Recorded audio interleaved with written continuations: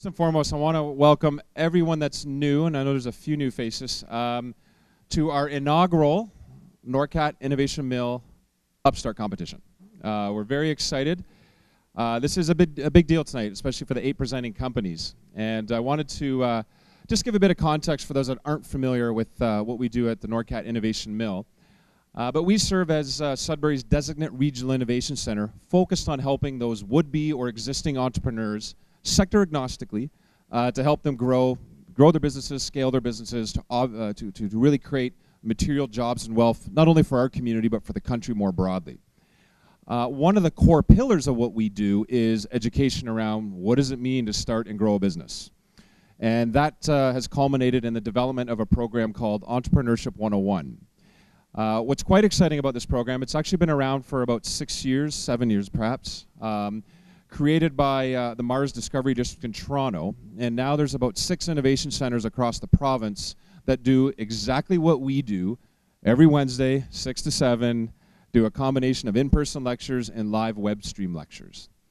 So the individuals tonight that are presenting, um, again, are presenting in the Upstart competition, um, are individuals that attended, I believe, 20 of the 30 lectures, submitted an executive summary to the competition, and have specifically been picked to present tonight. Uh, it is a business plan competition, so you're going to see some companies that are already generating revenue and have proven their market, and you're going to see some that have nothing beyond an idea that they want to take to market. Uh, so it's going to be a very interesting and I'll call it a challenging process for our, uh, our panel of judges. Um, for all those that are students here that didn't enter, um, I really want to, uh, I guess, take a, an opportunity to say, you know, thank you for attending. You know, a 30-week slog sometimes is a is a pretty significant commitment for one hour, especially to drive all the way out to the northeast part of town for those that live on the south end. Uh, but what we're really hoping for tonight, and this is the last opportunity that I'll get to speak to you because you don't take the course year over year. You can if you want to take it again next year. We'll be here. Um, what we really are hoping you can do, though, is to really become uh, ambassadors of this program, promote the brand. We don't want to tell the story, we want you to tell it for us. Uh, we'll obviously be issuing a survey, I think that's already gone out. Uh, for those that are, um, that, that uh, are getting certificates tonight, it is mandatory that you answer the survey. We will find you if you don't, because uh, we really want your feedback on what can we do better. Um, for those who are, are, graduating and getting certificates tonight, uh, I would actually argue you're part of a pretty elite crowd. Uh, there's only a handful of people in the province of Ontario that are going to have this designation. Yes, it's presented by one of the regional innovation centers, but I really hope that means something. And in fact, we pride ourselves on not calling ourselves an academic institution. You know, nothing against the academic institutions, but you know, we, uh, we, we intentionally brand this as something that is outside a traditional academic institution. So we're very excited about that. So, how will the night work? Well, each company coming up is only going to have 10 minutes to present their pitch. And, and when I say 10 minutes, uh, you will see a very competitive side to me tonight. And to ensure that there is a high degree of fairness, when 10 minutes is up, we can do it one of two ways. We can do it the polite way, or we just turn the microphone off and we take it from you.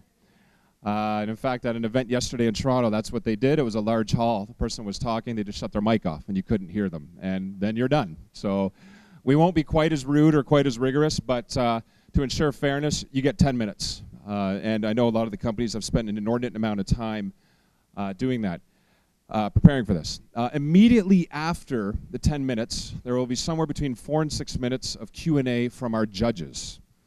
and I'll introduce the judges momentarily. Uh, not all judges will ask questions if not uh, needed. Uh, they're going to be tough questions. Again, this program awards $5,000 cash to be used to help further your business. So they're going to make sure they really understand, have all the insight they need uh, to make sure that the 5K is going to be you know, allocated to the right company. Um, there will be two breaks. We have pizza coming after the first two companies present. We're going to ask that you motor, get your pizza, and sit back down and eat quietly as the companies present. Uh, we're not going to take a 15, 20, 30 minute snack break. We just don't have the time. So when I say 10 minutes, go get your pizza and sit down, it's 10 minutes, and the company will start. So hopefully you'll be there.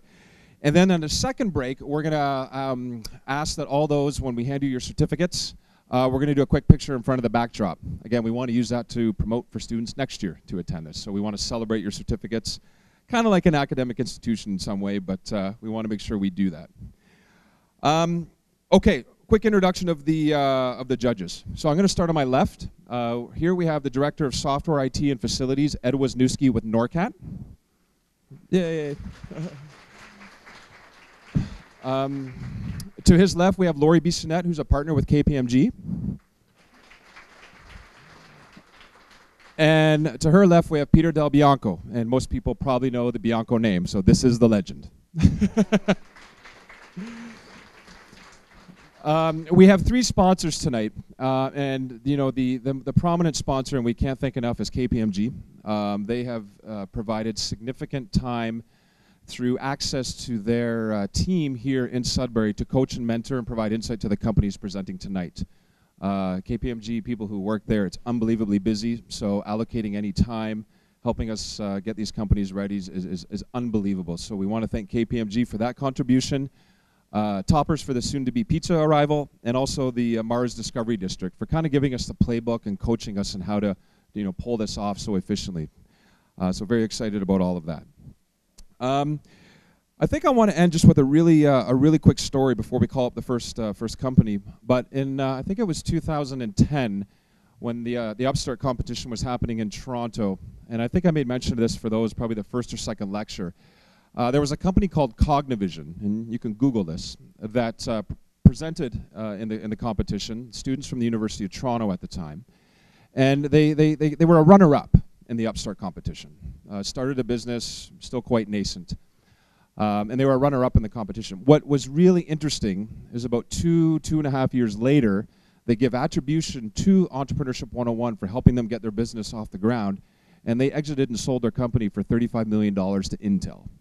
So tonight, you might see one here, and that one that goes in all the way might not be the one that wins, because you never know. It's so subjective. If we could pick winners, I'd be living in the Bahamas on a yacht, but we can't. So